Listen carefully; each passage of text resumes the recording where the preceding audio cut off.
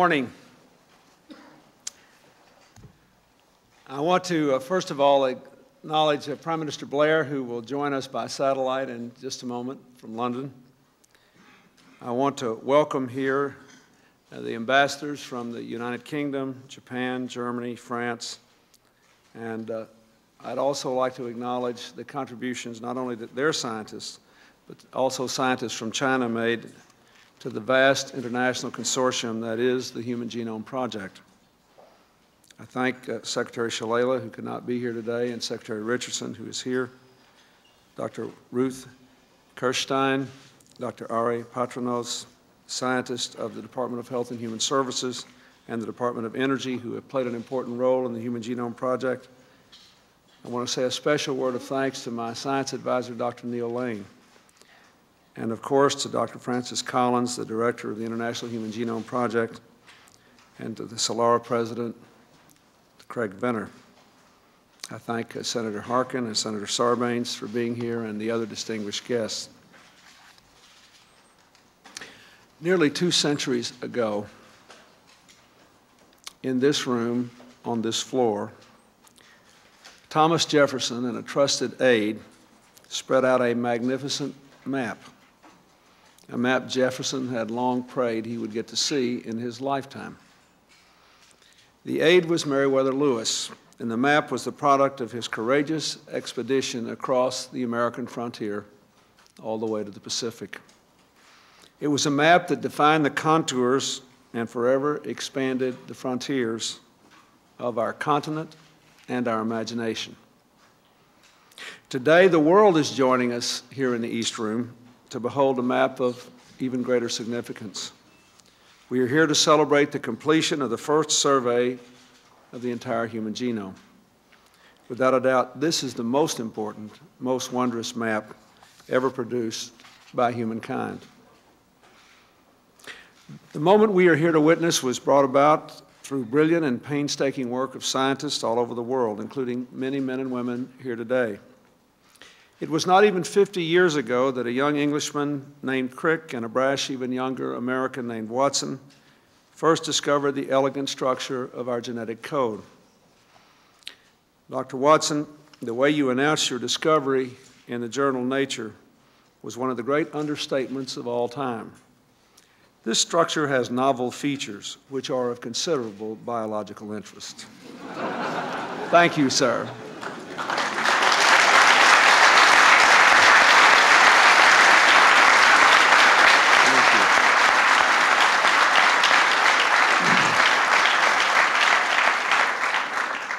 How far we have come since that day.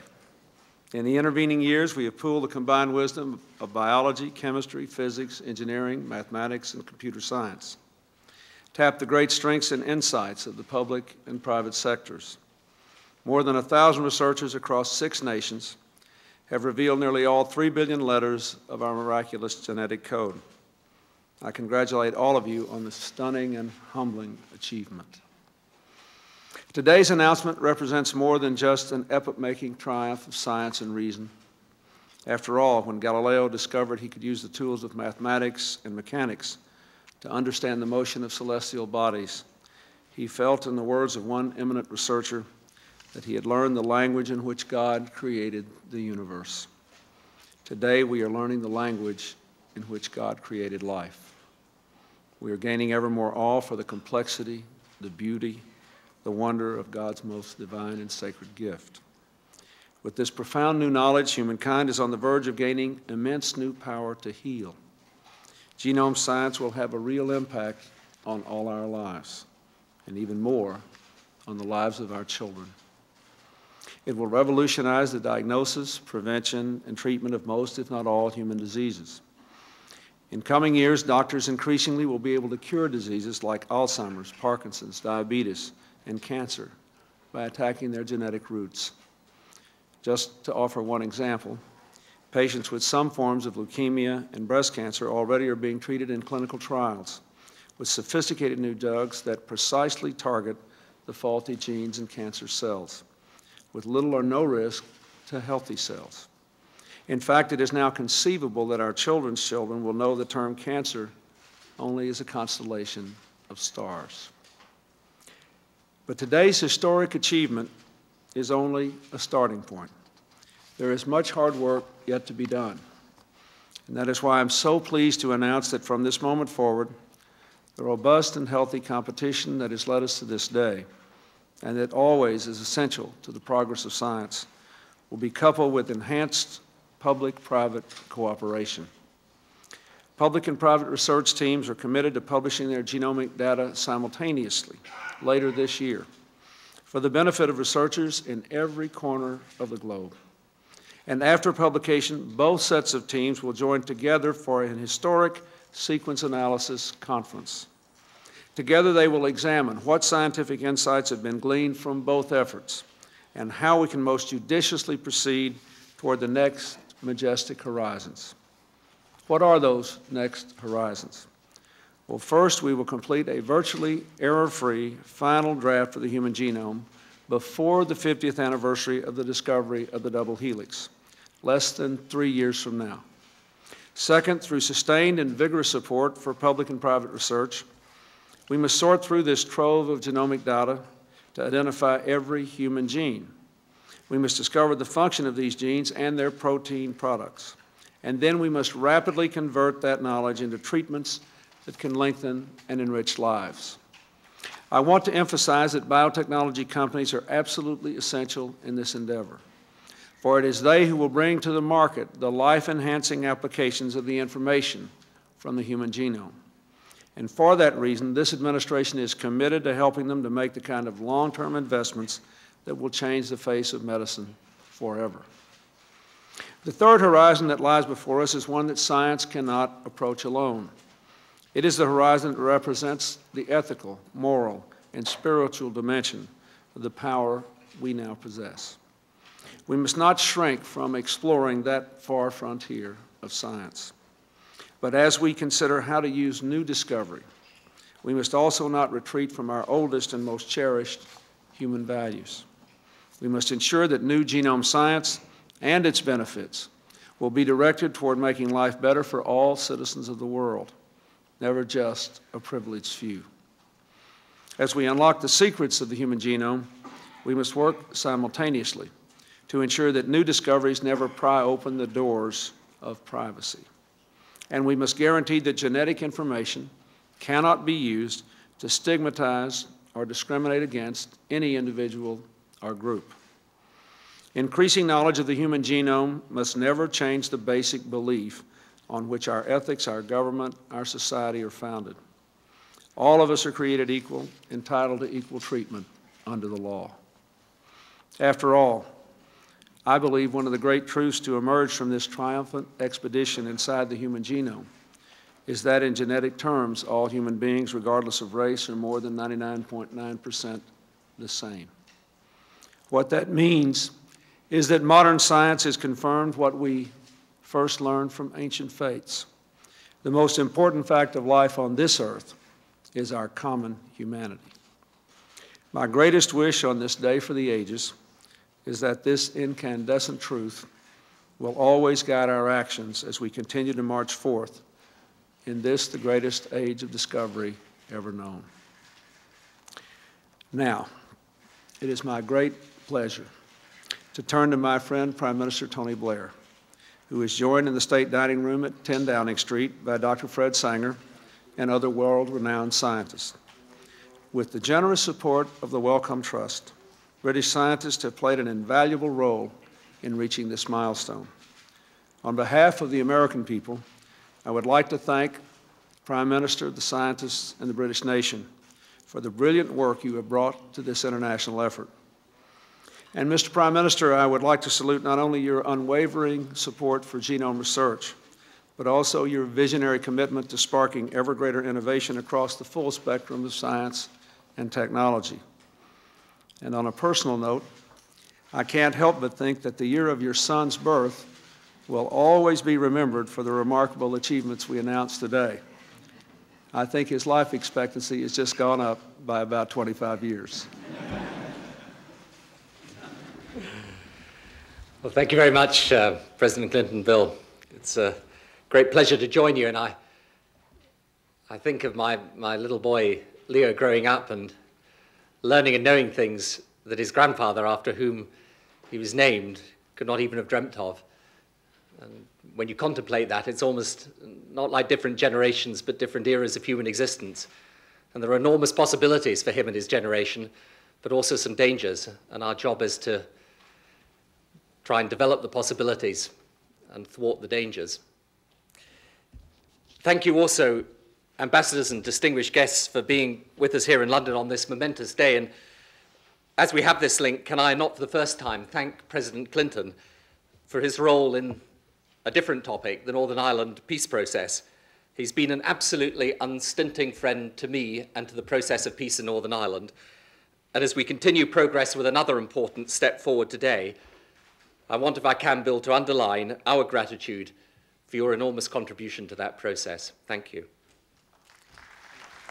I would also like to pay tribute to President Clinton's support for the Human Genome Project and for the huge role the United States has played in it. As befits an undertaking that can benefit the whole of humankind, this project has also brought together the best of the global scientific community. Many of the giants of our generation have been involved.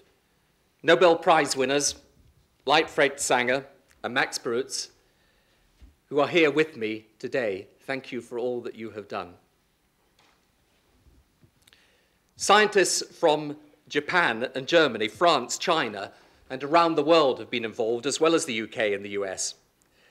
And this undertaking, therefore, has brought together the public, private, and non-profit sectors in an unprecedented international partnership.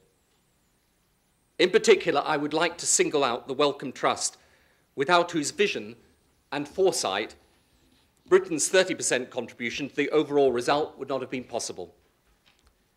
And I would like too to mention the imaginative work of Celera and Dr. Craig Venter, who, in the best spirit of scientific competition, has helped accelerate today's achievement. For let us be in no doubt about what we are witnessing today a revolution in medical science whose implications far surpass even the discovery of antibiotics. The first great technological triumph of the 21st century.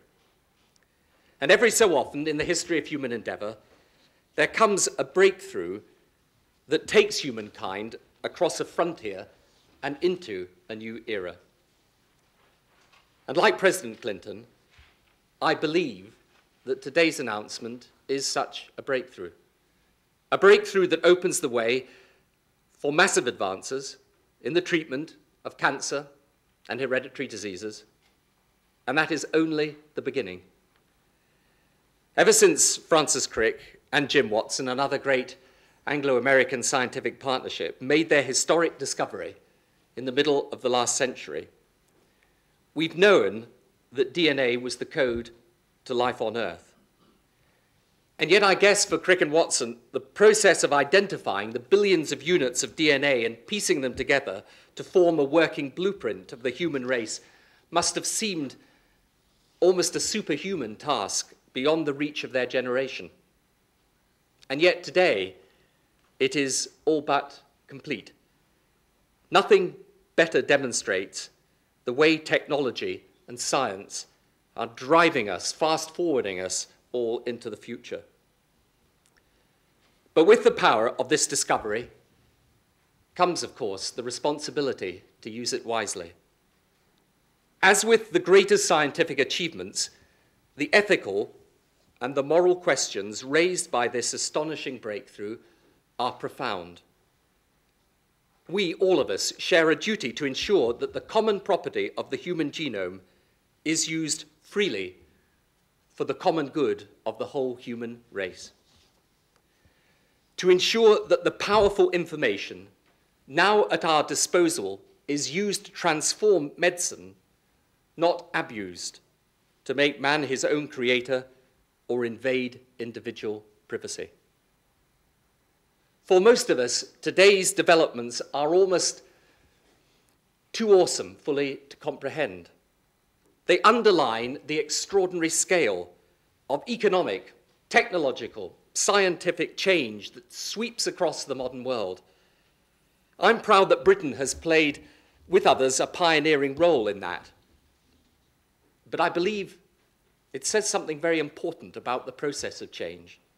We cannot resist change, but our job, indeed our duty, is to make sense of change, to help people through it, to seize the massive opportunities for better health and a better quality of life, and then, with equal vigour, to minimize the threats such developments pose. The scientists have presented us with that opportunity, but now we, all of us, accept the responsibility to make these advances work for all our people in all our countries for the common good of all humankind. So, Bill, I believe that this underlines the fact that we do indeed, as we've often said together, live in a global community, and the importance now of working across national frontiers to safeguard our shared values and put this remarkable scientific achievement at the service of all humankind.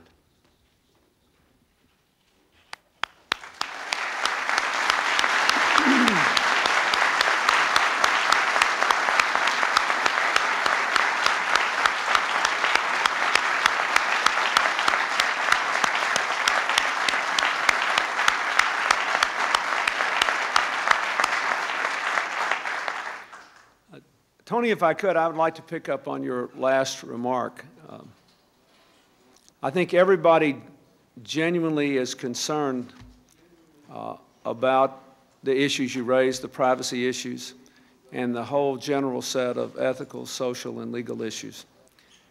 And it strikes me that our scientists, the, the British and the American scientists, uh, our French, German, and Chinese uh, counterparts who worked on this, uh, we're working toward a single, clearly defined goal. In all those countries and in the other countries of the world that will have to live with both the benefits and the challenges of these discoveries, there are different legal systems, different social mores, but I think that it would be a very good thing if the U.S., the U.K., and anybody else that wants to work with us could have the same sort of joint endeavor we've had with the human genome uh, to deal with the implications of this, to deal with the legal, the social, the ethical implications. We may have differences from country to country, but I think that if we work together, we'll give a higher sense of urgency to the project and we'll get a better product. And so I'm offering you another partnership. It's easy for me to do because you'll have to do it and I'll be gone. But uh, I'd like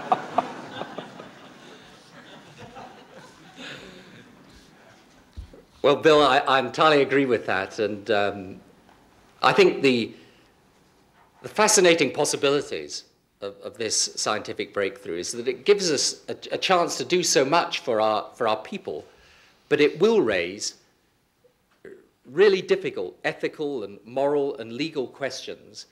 And you know, the decision for us really as, as, a, as humanity is whether we are going to engage in the right cooperation across national frontiers so that we shape our destiny in a way that genuinely does benefit all our people, that makes the most of the, the possibilities and faces up to the challenges and the dangers that it poses. And in a way, I think that the scientists that have been involved in this great undertaking have shown the spirit of cooperation that should now motivate the governments in taking this forward another step. You know, they have given us this opportunity, but we, all of us, are going to have a common responsibility in using it in the right way. So, as we, we now go to join our separate events on either side of the Atlantic, I think and believe that that spirit of cooperation, along with the scientific achievement, is something that we can all celebrate. And I'm once again proud to have taken part in this event with you, Bill, and all the very best to you and all your team for the work that you've done. Thank you. Thank you.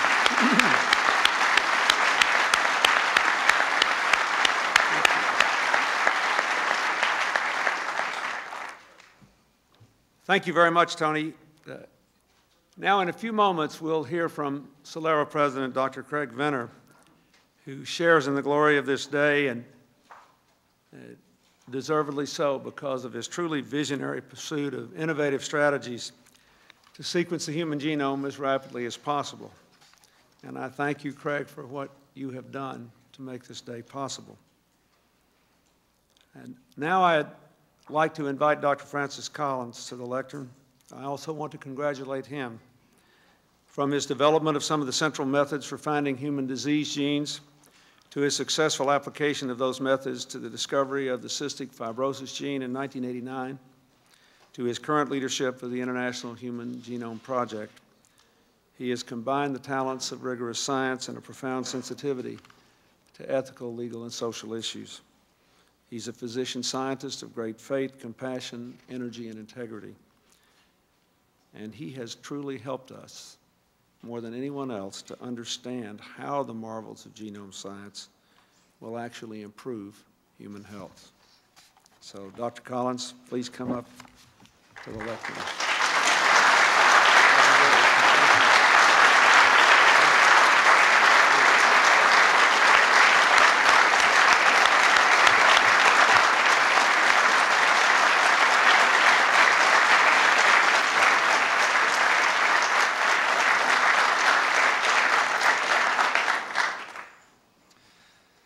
President, distinguished ambassadors, ladies and gentlemen. It is truly a humble, humbling, and profound experience to be asked to speak here this morning. First of all, I would like to thank most sincerely President Clinton for his remarkable leadership in getting us to this point.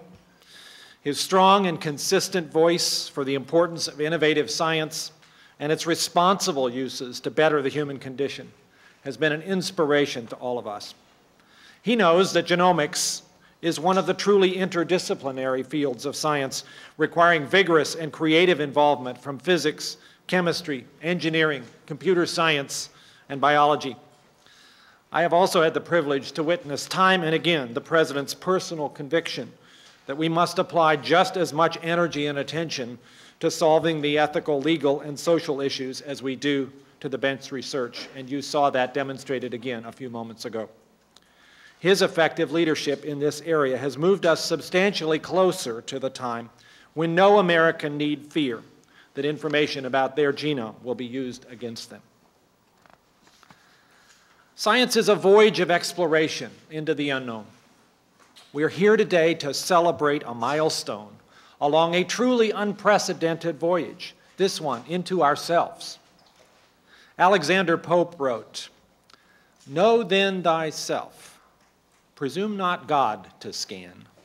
The proper study of mankind is man. What more powerful form of study of mankind could there be than to read our own instruction book?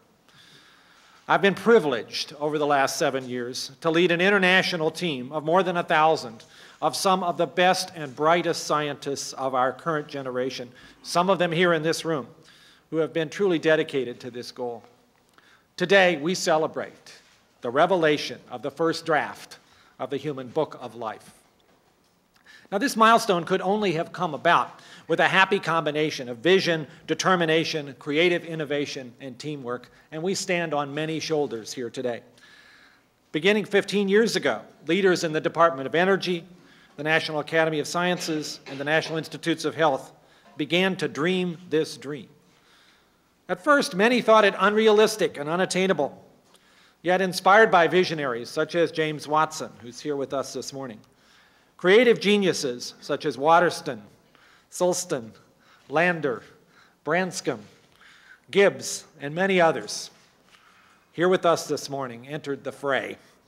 The vigorous involvement of talented colleagues in other countries, now including China, France, Germany, Japan, and the United Kingdom, have made this project particularly gratifying to me.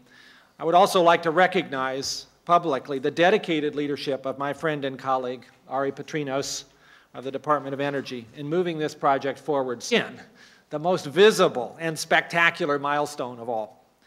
Most of the sequencing of the human genome by this international consortium has been done in just the last 15 months. During that time, this consortium has developed the capacity to sequence 1,000 letters of the DNA code per second, seven days a week, 24 hours a day. We have developed a map of overlapping fragments that includes 97% of the human genome, and we have sequenced 85% of this. The sequence data is of higher quality than expected, with half of it in finished or near finished form.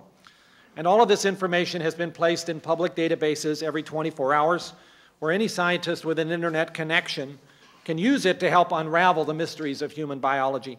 Already, more than a dozen genes responsible for diseases from deafness to kidney disease to cancer have been identified using this resource just in the last year. So there is much to celebrate. But I have to tell you that this morning is also a bittersweet experience for me personally. Less than 24 hours ago, I attended the funeral of my beloved sister in law, a wonderful marionette artist who brought magic and joy to thousands of children with her art. She died much too soon of breast cancer. The hope and promise of understanding all of the genes in the genome and applying this knowledge to the development of powerful new tools came just too late for her. I think I speak for all of us in this room and for the millions of others who have come to believe in the remarkable promise of biomedical research that we must redouble our efforts to speed the application of these profound and fundamental observations about the human genome to the cure of disease. That most desirable of all outcomes will only come about with a continued powerful and dedicated partnership between basic science investigators and academia and their colleagues in the biotechnology and pharmaceutical industries. As the President has said, we still have much to do. Many tasks lie ahead if we learn how to speak the language of the genome fluently. Today is most certainly not the end of genomics, but perhaps it's the end of the beginning. Together, we must develop the advances in medicine that are the real reason for doing this work, and with just as much vigor we must provide the protections against potential misuses of genetic information. If there is anyone within the sound of my voice who has not seen that as a priority, I hope today's announcement is the necessary wake-up call. It's a happy day for the world. It is humbling for me and awe-inspiring to realize that we have caught the first glimpse of our own instruction book, previously known only to God. What a profound responsibility it is to do this work. Historians will consider this a turning point. Researchers in a few years will have trouble imagining how we studied human biology without the genome sequence in front of us. I particularly welcome the opportunity to celebrate this moment jointly with our scientific colleagues at Celera Genomics, and I wish to express my personal gratitude to Dr. Craig Venter for his openness in the cooperative planning process that led to this joint announcement. I congratulate him and his team on the work done at Celera which uses an elegant and innovative strategy that is highly complementary to the approach taken by the public project. Much will be learned from a comparison of the two. I am happy that today, the only race we are talking about is the human race.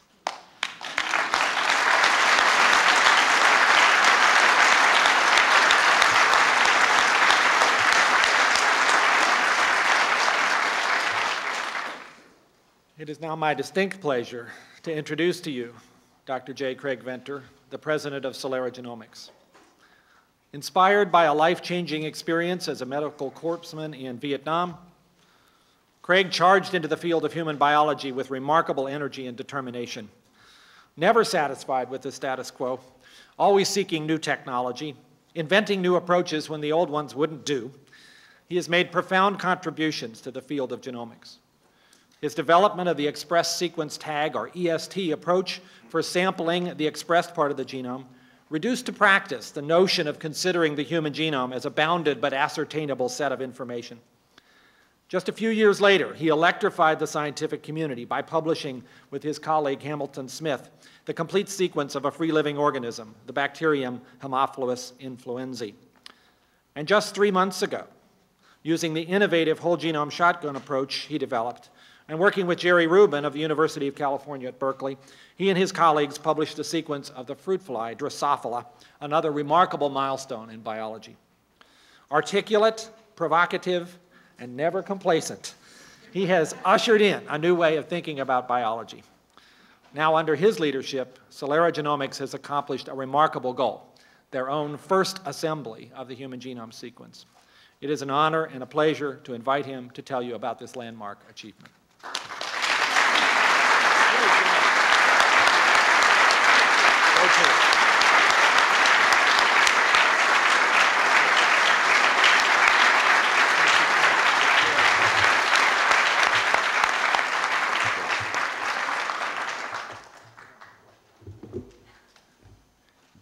I'm, I'm shorter than the previous two speakers.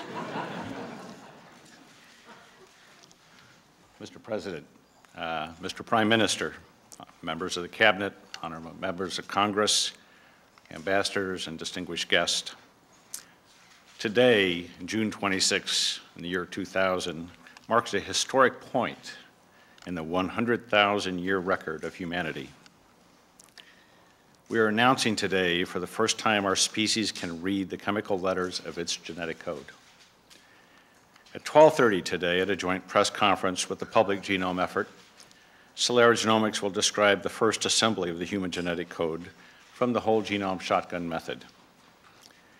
Starting only nine months ago on September 8, 1999, 18 miles from the White House, a small team of scientists headed by myself, Hamilton Smith, Mark Adams, Gene Myers, and Granger Sutton began sequencing the DNA of the human genome using a novel method pioneered by essentially the same team five years earlier at the Institute for Genomic Research. The method used by Celera has determined the genetic code of five individuals. We have sequenced the genome of three females and two males who have identified themselves as Hispanic, Asian, Caucasian, or African American.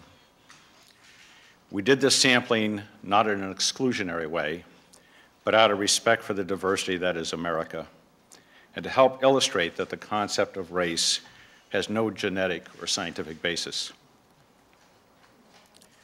In the five Celera genomes, there's no way to tell one ethnicity from one another. another.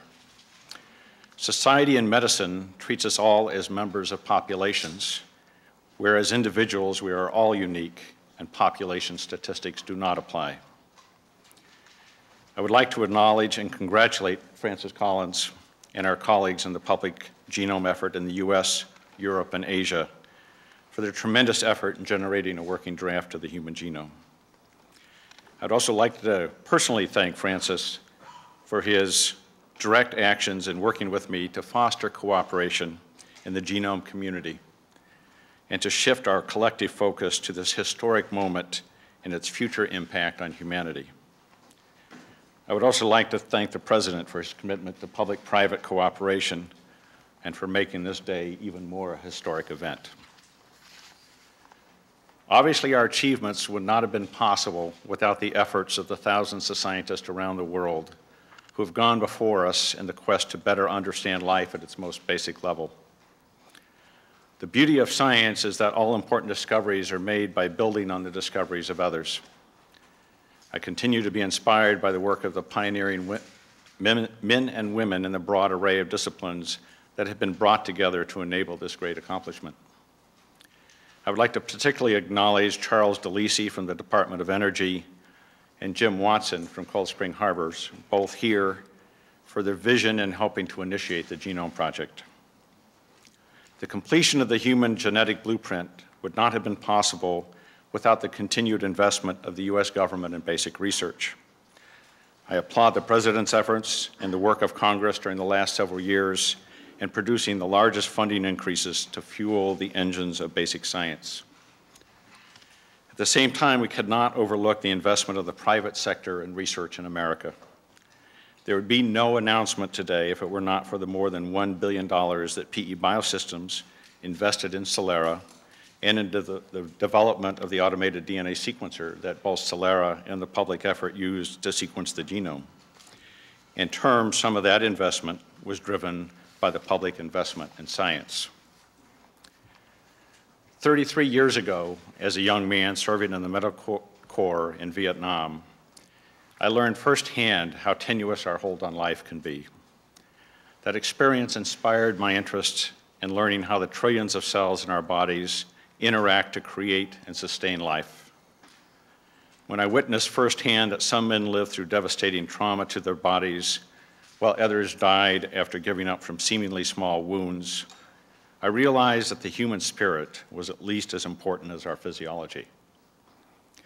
We are clearly much, much more than the sum total of our genes, just as our society is greater than the sum total of each of us. Our physiology is based on complex and seemingly infinite interactions amongst all our genes and the environment, just as our civilization is based on the interactions amongst all of us. One of the wonderful discoveries that my colleagues and I have made while decoding the DNA over over two dozen species, from viruses to bacteria to plants to insects, and now human beings, is that we're all connected to the commonality of the genetic code and evolution. When life is reduced to its very essence, we find that we have many genes in common with every species on Earth, and that we are not so different from one another. You may be surprised to learn that your sequencers are greater than 90% identical to proteins in other animals. It's my belief that the basic knowledge that we're providing the world will have a profound impact on the human condition and the treatments for disease and our view on our place in the biological continuum. The genome sequence represents a new starting point for science and medicine with potential impact on every disease. Taking the example cancer, each day approximately 2,000 people die in America from cancer. As a consequence of the genome efforts that you've heard described by Dr. Collins and myself this morning, and the research that will be catalyzed by this information, there's at least the potential to reduce the number of cancer deaths to zero during our lifetimes. The development of new therapeutics will require continued public investment in basic science and the translations of discoveries into new medicine by the biotechs and pharmaceutical industry. However, I am concerned, as many of you are, that there are some who will want to use this new knowledge as a basis of discrimination. A CNN Time poll this morning reported that 46% of Americans polled believe that the impact of the Human Genome Project will be negative. We must work together towards higher science literacy and the wise use of our common heritage. I know from personal discussions with the President over the past several years and his comments here this morning that genetic discrimination has been one of his major concerns about the impact of the genomic revolution. While those who will base social decisions on genetic reductionism will be ultimately defeated by science, new laws to protect us from genetic discrimination are critical in order to maximize the medical benefits from genome discoveries. Some have said to me that sequencing the human genome will diminish humanity by taking the mystery out of life. Poets have argued that genome sequencing is an example of sterilizing reductionism that will rob them of their inspiration. Nothing could be further from the truth. The complexities and wonder of how the inanimate chemicals that are our genetic code give rise to the imponderables of the human spirit should keep poets and philosophers inspired for the millenniums. Thank you.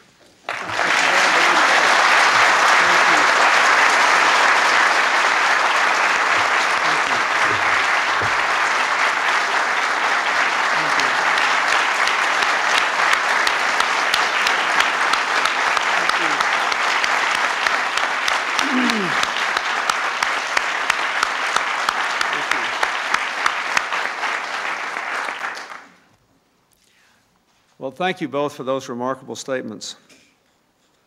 I suppose in closing, the most important thing I could do is to associate myself with Dr. Venter's last statement. When we get this all worked out, we're all living to be 150. Young people will still fall in love. Old people will still fight about things that should have been resolved 50 years ago.